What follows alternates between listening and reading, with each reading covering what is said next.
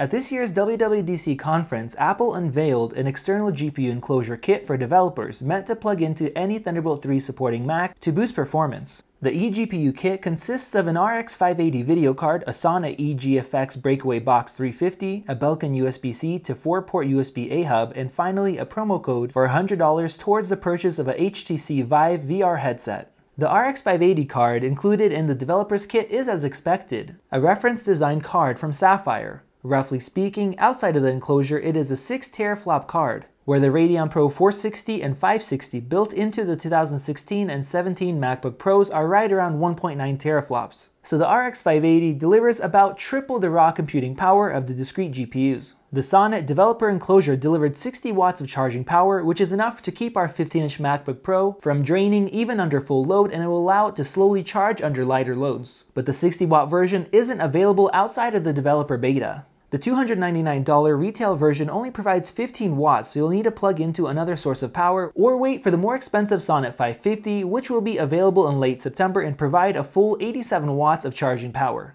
It's quieter using the same cards than all of the other enclosures we've tested. Fully stressed, the enclosure hit 51 decibels at 3 feet from the case and 40 decibels at idle. For comparison, a 2016 MacBook Pro under load is about 36 decibels and about 31 decibels at idle. Without relying on third-party hacks, Apple's eGPU implementation in High Sierra is very much in its infancy right now. There are a bunch of restrictions, including the lack of clamshell mode, no current support for HDMI audio, no sleep support for attached Mac, and a few other things.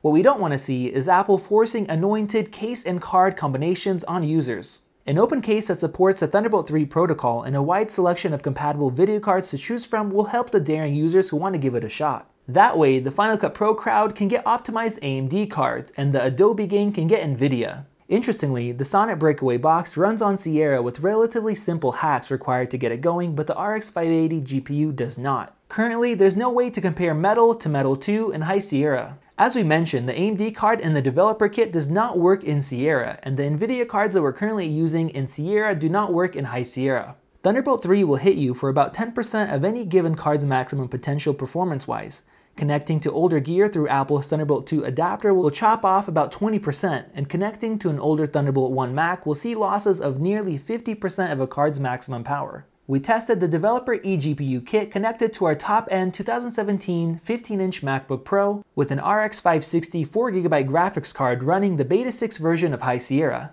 In Geekbench 4, the external RX 580 scored an impressive 122,478 in the OpenCL test and 124,312 with a 4K display plugged into the GPU, both almost three times faster than the best available graphics in the MacBook Pro. In comparison, our 2017 5K iMac with a Radeon Pro 580 8GB, which is based on the same GPU, scored 117,000. We think that's very impressive performance. An RX 580 plugged directly into a PCI slot scores about 132,000, so real-world performance loss is very minimal. And even with that loss, it beats out the best available graphics card in the 2017 5K iMac.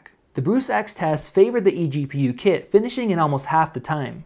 Though we did have to connect the eGPU to an external monitor to get it to work properly. For our own stress tests, we used DaVinci Resolve. We ran our hardest test, a 20 second 4x4K project, and saw a 69% improvement using the eGPU kit. In our 5 minute 1080p test, it was 27% faster than the internal graphics. We also saw a 29% improvement in our 5 minute 4K render.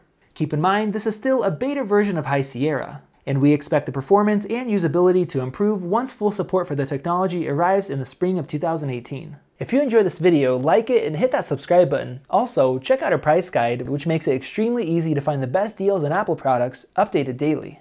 Be sure to follow us on social media and we'll see you in the next video.